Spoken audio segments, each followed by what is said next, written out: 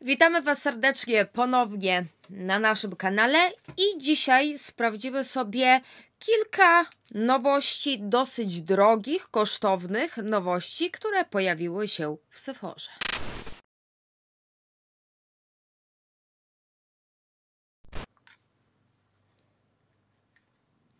No nie rozbieraj mnie przed kamerami, no. A te drogie nowości to m.in. produkty od Glowish i tutaj mam ciekawego gagatka, czyli mm, coś na zasadzie pudru, który może być nałożony na mokro jako podkład, więc na tym się dzisiaj najbardziej skupimy. Obok tych podkładów pojawiły się jeszcze róże, mamy nowe pędzle i chciałabym sprawdzić bardzo drogą, bardzo piękną nowość, a mianowicie e, nowe limitowane palety z Hourglass. Więc jeżeli jesteście ciekawi, jak te produkty sprawdzą się u mnie, to zapraszamy do oglądania dalej. I widzicie, zanim e, zobaczy Instagram, mam nowe paznokcie i ogólnie rzecz biorąc, e, to są paznokcie, które po pierwsze najpierw były matowe, ale niestety, mm, jeżeli są jasne i matowe paznokcie, to one szybko się brudzą, przyciemniają, więc mm, ja je niedawno poprawiłam w domu na błysk. Po drugie, e, zdążyłam zrobić zdjęcie i dosłownie tego paznokcia w wyniku kolejnego upadku połamałam. No i tutaj na tym paznokciu już nie mam tej panterki, ale na szczęście lewa ręka cały czas jest e, piękna, więc e, z jednego boku jest pantera, a z drugiego boku jest taki niebieski, turkusowy French. I na samym początku jeszcze z takich aktualizacji ta broda już chyba zaczęła mi się w miarę fajnie, fajnie ruszać. Mam nadzieję, że niedługo wróci do normy. No i teraz przechodząc właśnie do podkładu pudru z chudy e, Glowish. Mam tutaj ulotkę i on ogólnie występuje w 13 odcieniach. E, ja Wam oczywiście zrobię mm, słocze odcieni, które ja posiadam. A, ja posiadam czwórkę, piątkę i szóstkę. I ja ogólnie w paczkach PR-owych od chudy mm, otrzymuję dosyć ciemne odcienie, więc e, też na potrzeby tego filmu znowu się wysmarowałam samoopalaczem i wydaje mi się, że ta czwórka, czyli light medium e, powinna być spoko. I to jest ogólnie mm, puder, który możemy nałożyć albo na mokro przy pomocy gąbki mm, na twarz, albo możemy nim przypudrować sobie podkład. I właśnie tutaj oni sugerują, że jeżeli bym miała przypudrować, no to ten e, podkład e, Glowish Multi Dew. Ten podkład czy skin tint ja naprawdę bardzo, bardzo lubię. Mm, lubię się z tym produktem, lubię go mieszać również z innymi podkładami, więc zaraz zobaczymy mm, jak będzie się prezentować e, ten puder jako podkład, bo mam Mam takie przeczucie, że chyba po prostu y, spróbujemy, a jeżeli będzie to średnio wyglądać, to to najwyżej nałożę podkład i później będziemy pudrować. No i dobra, w tym momencie, kiedy mm, nagrywam film, to jeszcze na stronie Sephory y, ja tego produktu nie widzę, ale przypuszczam, że y, w Sephorze 155 zł kosztuje puder brązujący, więc pewnie ten puder zwykły również będzie w podobnej cenie, a na stronie stronie chudy on kosztuje 33 e, euro, tak? Tu jest euro? Tak, euro. A bronzer, a zaraz zobaczymy ile bronzer kosztuje. Bronzer kosztuje 31 euro, czyli 2 euro e, droższy jest ten puder, czyli będzie trochę droższy niż 155 zł. Ale dobra, sprawdźmy to sobie. No i oczywiście mam tą e, gąbeczkę z chudy. Jest ona zwilżona. I to jest czwórka. Nie nakładałam żadnej bazy, niczego.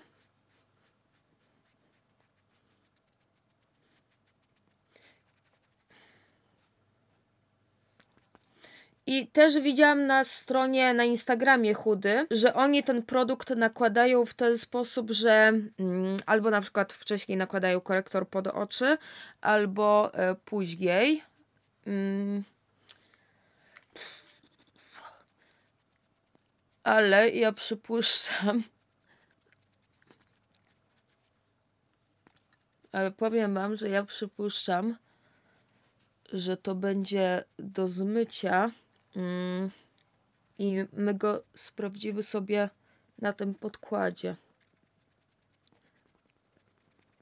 Nie, w ten sposób to mi się to totalnie nie podoba. To wygląda źle i też widać, że nie, nie rozprowadziło się tak smukle, jak ja bym tego chciała. Tu są jakieś nie, nie, nie podoba mi się to. Pory mam podkreślone i po drugie w tym produkcie mamy taka bardzo drobno zmielona złota perła i niestety no nie prezentuje się to dobrze tutaj. No jeszcze jak możemy sobie, wiecie, wykończyć tak boki twarzy, no to jeszcze, ale tak to mm -mm. to pierwsze. Po drugie czuję, że mamy sucho pod spodem, a mam nawilżający krem pod spodem, więc jeżeli bym chciała ten puder nałożyć właśnie tak jak chuda pokazuje, no to yy, chyba jeszcze jakąś mocno nawilżającą bazę pod spód, więc dobra, ja w tej chwili to zmywam, przygotuję sobie brwi, przygotuję sobie mm, podkład, korektor kremowe, konturowanie i się tym pudrem przypudrujemy. A little later. Dobra, proszę Państwa, sytuacja prezentuje się następująco. Na twarzy jest podkład e, Glowish, następnie pod oczami jest korektor z Rimmela i w tych strategicznych momentach na twarzy jestem rozjaśniona taką paletą do rozjaśniania od Jacqueline Hill Cosmetics. Teraz wezmę sobie mm, ten puder, który wcześniej był aplikowany jako podkład. I w tej kolekcji również został wydany e, pędzel e, All Over Face Powder mm, Brush i on kosztuje 31 e, euro.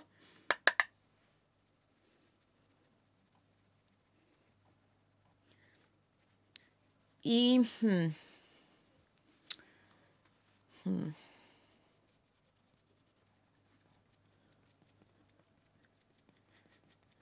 Muszę sobie tu pomóc trochę gąbeczką, bo tu mi się zrobiło trochę za jasno. No i ten puder nadal, ta czwórka jest dla mnie trochę za ciemna. Hmm. No ale już na podkładzie to to się prezentuje spoko. I teraz to połączenie faktycznie fajnie, ładnie się prezentuje. Jak jeszcze sobie tutaj tak gąbeczką doklepię te wszystkie produkty, to naprawdę cera ma bardzo ładne wykończenie, świetliste, ale oczywiście puder pod oczami był w 100% matowy, tak? Nie kładłam tego pudru e, pod oczy. No i teraz to wygląda ładnie. Połączenie tych dwóch rzeczy wygląda fajnie, ale mm, ten produkt jako e, samodzielny podkład, no to moim zdaniem to niestety nie, to porażka. Skoro jestem już e, wysmarowana samoopalaczem i jestem ciemniejsza, to chciałabym dać drugą szansę e, tym bronzerom z Glowish. Ja nie pamiętam w którym filmie, ale w którymś filmie ja je już testowałam i te kolory mi nie podeszły. I teraz tak jak zrobiłam sobie słocze, mm, oczywiście w tym momencie one dla Was wjadą z bliska, e, ja mam odcień 2, 3 oraz 4, to tak patrzę, że ta trójka może na tym obecnym kolorze by wyglądała spoko. Spróbujmy. I to jest też pędzel od Hudy Beauty i to jest Bronze and Blush. Więc sobie dzisiaj zobaczymy jak prawie cała twarz, zanim nałożymy jeszcze palety z Hourglass, to zobaczymy jak będzie wyglądać e, twarz z tymi produktami, ale, ale, ale ja chcę inny pędzel. Bardziej mięciutki, tamten był moim zdaniem trochę za sztywny, a teraz wzięłam Hakuro J425.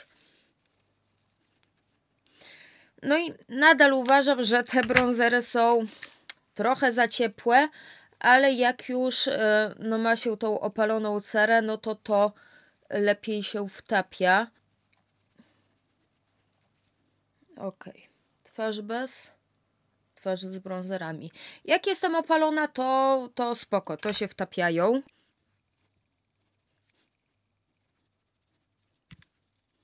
Ale dobra, skoro jesteśmy przy brązerze, zanim przejdziemy, uwaga, do różu do policzków, no to mam dwie nowe palety z Hourglass. To są palety, mm, które są edycją limitowaną i uwaga, każda z tych palet kosztuje ponad 400 zł, 419 i mamy wersję jaśniejszą oraz wersję ciemniejszą.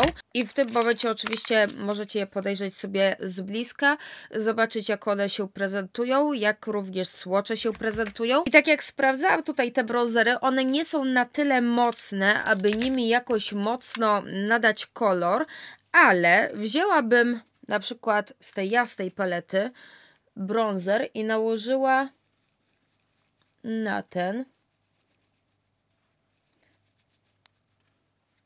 to wykończenie staje się jeszcze bardziej mokre. Ale wydaje mi się, że mocno tutaj kolor się nie zmienia. Trochę. Jedź. No dobra, to zobaczmy na nosie.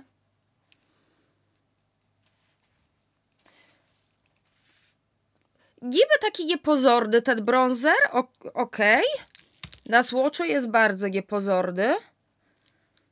Ale dalej to, to jest ocieplający bronzer. No dobra, weźmy go tutaj. Ale ta twarz z daleka, wow, hit. Nie mam jeszcze grama rozświetlacza na sobie. Na pewno wziąłem inny pędzel, bo to jest z kolei Embrush numer 23. Ok, zwracam mu honor. Niepozorny, bardzo niepozorny na słoczu. Na twarzy, ok, daję radę. Skoro jestem tak słabo rozświetlona, to weźmiemy ten jasny odcień i zobaczymy, czy on trochę rozjaśni. Tylko, no właśnie, trzeba uważać, żeby pędzel nie był za duży, bo tu he, można wjechać, można wjechać w róż.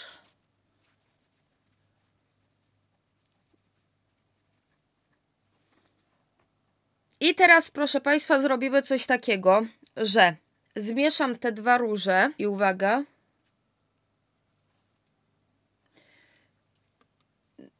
Widzę to już, widzę to już. Ok. Ale to są róże rozświetlające, więc e, Katarzynie się podobają. Ok, trochę to sobie rozetrę czystym pędzlem. Mm, dobra. I teraz przy okazji mamy jeszcze nowe rozświetlacze z Huda Beauty, e, a raczej właśnie z tego Glowish i otrzymałam chyba wszystkie dostępne e, cztery odcienie. W tym momencie oczywiście wjeżdżają dla Was słocze i te róże są w cenie jakiej szukamy 21 e, euro. I wydaje mi się, że mm, użyję tego pierwszego koloru Healthy Peach i on powinien być w miarę podobny do tego z mm, Hourglass. No, o, trafiłam.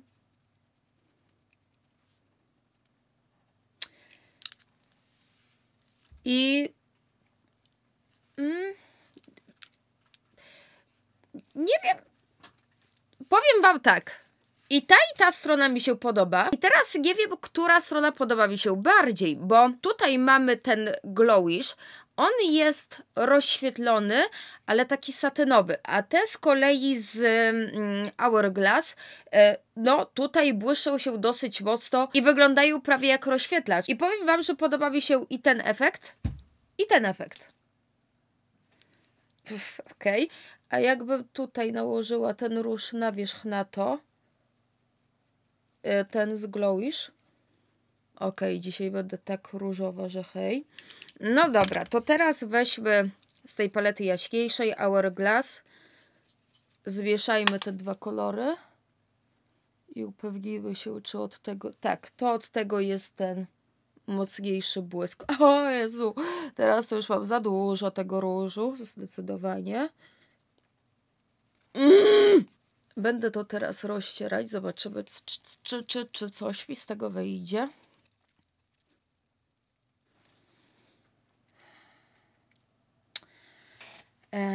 No niestety, dzisiaj zostanę z różem na policzkach. I teraz tak, jeszcze się zastanawiam, bo w tych paletach z Hourglass są jeszcze rozświetlacze. Tylko one się trochę różnią. W tej palecie jaśniejszej mm, te pudry są właśnie takimi e, pudrami e, rozświetlającymi satynowymi właśnie w stylu mm, Hourglass, a z kolei w tej wersji ciemniejszej tutaj ten jeden wkład już jest typowo rozświetlaczem i ma moc.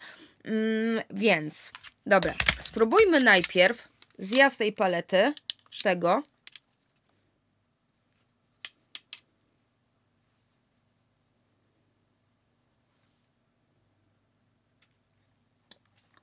Mhm.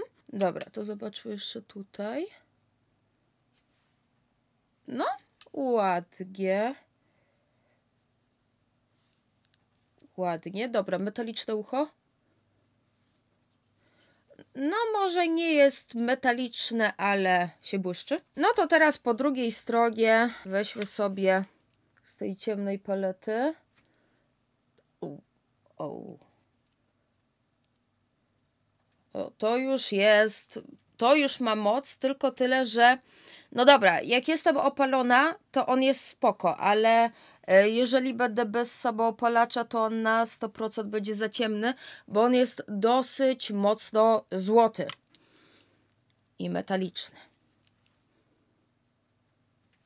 Metaliczne ucho jest? Jest. Dobra, spróbuję zrobić coś takiego, że tym pędzlem e, czystym rozcieraczem wezmę ten e, z ciemnej palety. Postaram się tym wkładem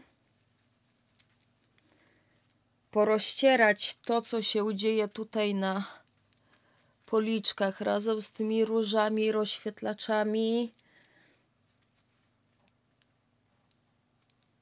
Różu jest dzisiaj totalnie za dużo.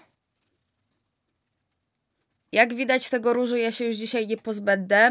No dobra, proszę Państwa, e, dokończę makijaż i zaraz do Was wracam. I możemy przechodzić do podsumowania.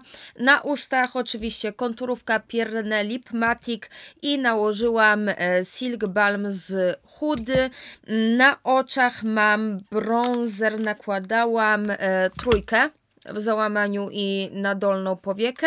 I zrobiłam e, kreskę właśnie tym najnowszym, ostatnio wydanym linerem z chudy, a rzęsy to są Ardell 800 812 Foaming. No i może teraz zacznijmy od gwiazdy tego odcinka. Przypuszczam, że jak ten puder pojawi się na stronie polskiej Sephory, pewnie będzie kosztował w okolicach 160 zł. Coś tak pi razy drzwi, nie licząc mm, dokładnie. No i teraz, jeżeli ja go użyłam w ten sposób, że właśnie najpierw nałożyłam podkład, a później przypudrowałam tym pudrem podkład, ale wszystko z wyłączeniem strefy T, a przede wszystkim oczy, czy środek czoła, czy broda, to ten puder do tego celu może być używany. Ale moim zdaniem ten drugi sposób, gdzie nakładamy zwilżoną gąbką ten puder na twarz jako podkład, um, niestety nie podoba mi się jak to wyglądało jeżeli byśmy to nałożyli na boki twarzy, to jeszcze spoko, właśnie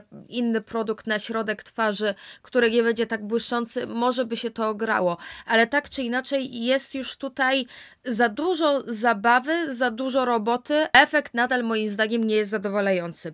I teraz z drugiej strony patrząc na to, że w sumie to jest taki puder rozświetlający, który doskonale wiecie, że ja najczęściej i najprędzej używałabym po prostu na boki twarzy, na skronie, na całe czoło, ale już na wcześniej przypudrowany normalny podkład i normalny puder. I wtedy uzyskuję bardzo podobny efekt, tym bardziej, że zamiast tego pudru z Glowish możemy użyć na przykład pudru z Bell, który kosztuje ułamek ceny tego pudru. Więc jako puder rozświetlający moim zdaniem za drogo. Jako utrwalacz podkładu Mm, na większość twarzy, ale nie na całą twarz. Ja, a jako podkład nakładany na mokro, to totalnie nie. Tym bardziej, że mam wrażenie, że mokrą gąbką nie dość, że tego pudru na twarz nakłada się więcej w dużej ilości, to on jest mocno wyczuwalny i niestety czuć, że dosłownie pod spodem mamy ściągniętą skórę. A z kolei z tej samej serii te róże do policzków, które wyszły,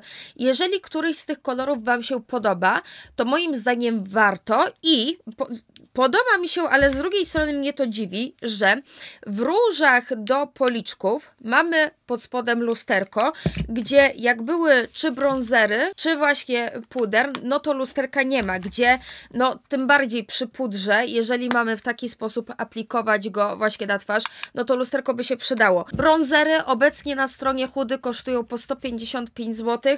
Moim zdaniem w tej cenie można kupić mm, lepszy, fajniejszy, w ładniejszym odcieniu bronzer i wracając do tych róży do policzków, to moim zdaniem jest najbardziej udany produkt na razie w tym zestawieniu, obok właśnie tego mm, rozświetlającego podkładu czy tintu, jak to nazywają.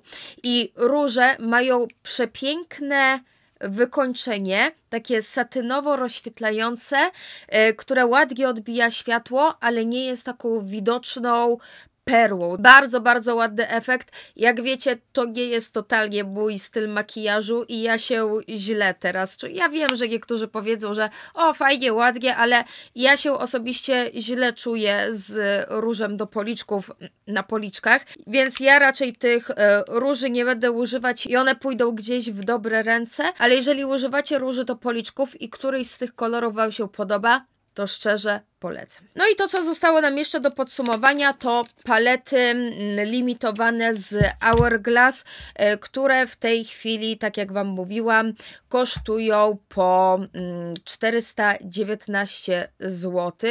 I co tu jest? Edycja palety z pięcioma elementami puder, dwa róże, bronzer i rozświetlacz. Każdy z nich na swój sposób pomoże wydobyć Twój wewnętrzny blask. Powiem Wam, że te palety bardzo, bardzo mi się podobają, ale no niestety są drogie. Palety mają przepiękne, mocne, dosyć ciężkie opakowanie. E, zamek jest magnetyczny. Pod spodem mamy normalne lusterko, to jest taki blaszak, bla, blaszane opakowanie i te wkłady są przepiękne, niesamowicie uniwersalne. E, kosztuje to 420 zł. Z jednej strony to jest dużo, to jest bardzo dużo, nie oszukujmy się, ale z drugiej strony mamy tutaj 5 wkładów, a tak to pudry z Hourglass pojedyncze kosztują w okolicach 200-250 zł, a paleta rozświetlająca, gdzie są 3 wkłady, kosztuje 300 zł, więc tam wychodzi po 100 zł za wkład. A tutaj policzyłam na kalkulatorze, za wkład wychodzi nam 84 zł. Więc jeżeli jesteście fanami tych pudrów i macie pewność, że z tej palety będziecie używać każdego jednego pudru, no to to jest opłacalne cenowo jako zestaw, ale nadal ta cena bardzo, bardzo boli. To, co mnie zauroczyło w tych paletach, że jak robiłam słocze na ręce, to te produkty, a głównie bronzery, wyglądały znacznie delikatniej niż później się to przenosiło na twarz. No i oczywiście wszystko tutaj ma wykończenie takie satynowo błyszczące z taką ciepłą, bardzo ładną, złotą poświatą, więc ogólnie palety są sztosem, tylko że są niestety drogie. Niszczyciel zasnął w tle. Dobrze, możemy się pożegnać. Proszę Państwa, jak zwykle czekam na Wasze komentarze. Dajcie mi znać, co uważacie na temat e, testowanych przeze mnie mnie dzisiaj produktów, co Wam się spodobało, co Was zainteresowało, jakie macie odczucia na ich temat. Będzie mi bardzo miło, jeżeli będzie Wam się chciało podzielić ze mną swoją opinią w komentarzach na dole. O, trochę się odsunę, żeby go pokazać. No śpi, śpi. Pyszczek otwarty. I już szybko kończę, żeby on mógł sobie spokojnie spać. Jeżeli materiał przypadł Wam do gustu, to poprosimy o kciuka do góry. Jak zwykle zapraszam na mojego Instagrama oraz Instastory i przypominam o tym, że warto jest subskrybować kanał i przycisnąć dzwoneczek obok czerwonego przycisku, aby dostawać powiadomienia, kiedy Kitulcowa oraz Ezo wrzucą nowy film na kanał. Dzisiaj to by było na tyle i mam nadzieję, że już niebawem widzimy się w naszym kolejnym filmie.